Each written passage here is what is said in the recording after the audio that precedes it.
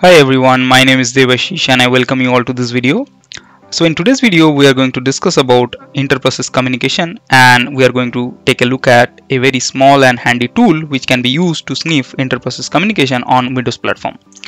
So if you're already not familiar with IPC, uh, so IPC is a mechanism which allows process to communicate with each other and synchronize their action. So there are actually you know a few methods uh, using which IPC can be performed.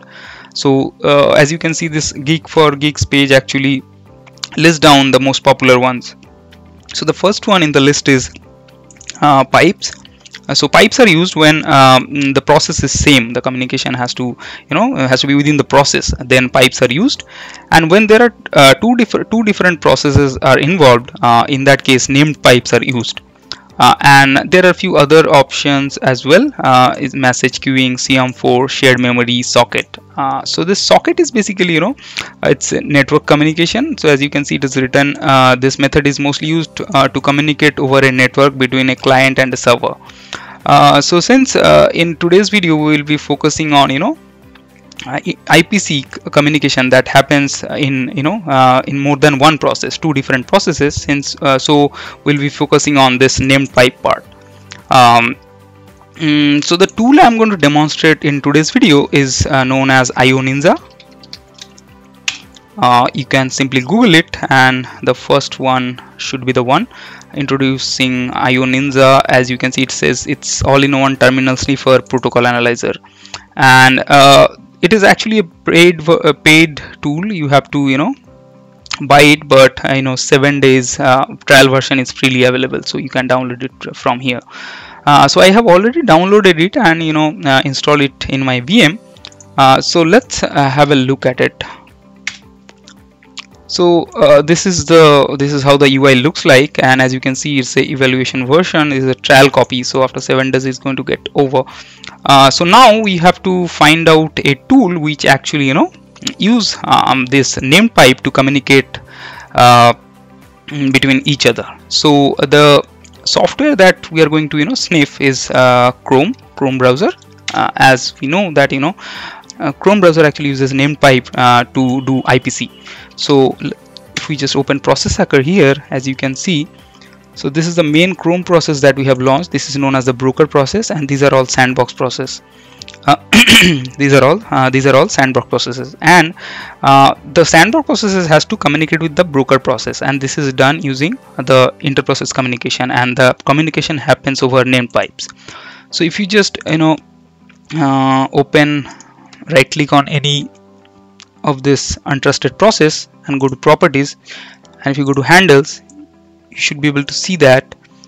And you know there are you know several handles for named pipes. And this is actually you know mojo dot something. So mojo is basically the you know ipc primitives uh, for chrome browser that is used in the in chrome browser. Uh, so there are you know plenty of details available but that is you know not uh, our goal of this video. So I'll just quickly show you when the browser is actually running a lot of IPC communication happens within the broker process and the sandbox processes. So if you want to quickly see you know what all payloads are being passed uh, between these processes uh, so how can you do that? So let's open up IONinja and go to file go to new session and there's a long list uh, of you know interfaces that it supports. So you have to basically scroll down and go to pipe monitor here and click OK. Mm, okay now the pipe monitor is on. And there are a couple of options that are available. You can uh, sniff uh, the IPC communication uh, by file name file ID process PID so what are you going to do here we are going to do it with the process uh, so since all the processes name is chrome.exe itself so this is how we are going to do it. We'll add double star chrome.exe and you have to check this one and click on this. Okay so I have to you know run it as admin so I'll do it again. New session run as administrator pipe monitor okay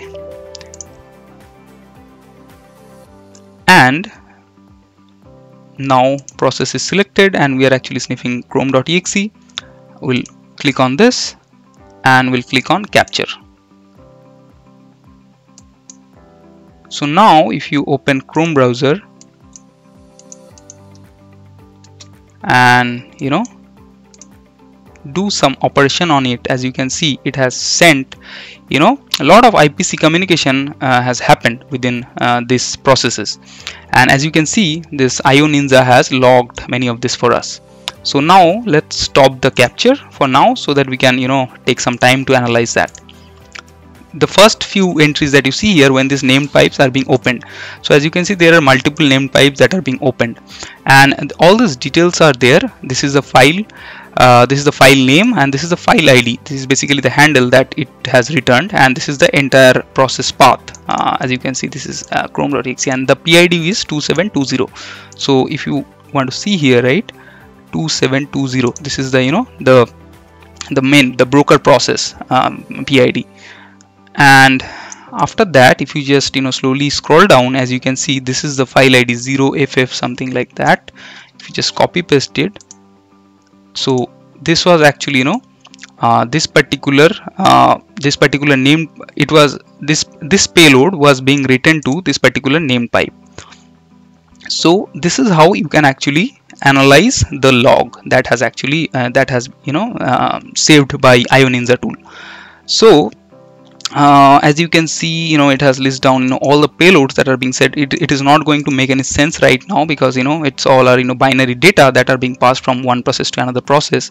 So one very important thing that uh, you have to uh, you have to be looking for is this particular arrows that you see here. So if you take a look at this particular entry here so this is for the 2720 process uh, which is the main Chrome browser process, the broker process. And as you can see here, this is the name pipe and this arrow means this payload was being read from this particular name pipe. And if you scroll down, as you can see, there are few arrows, few entries with arrows, you know, towards the right side. The direction is the right side, which means, so, which means uh, this particular payload is being written to that named pipe.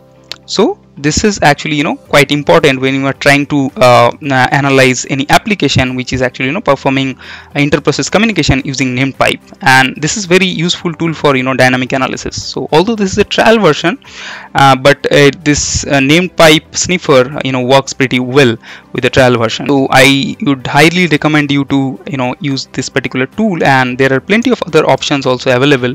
You should definitely give it a try so that's all I wanted to discuss in today's video.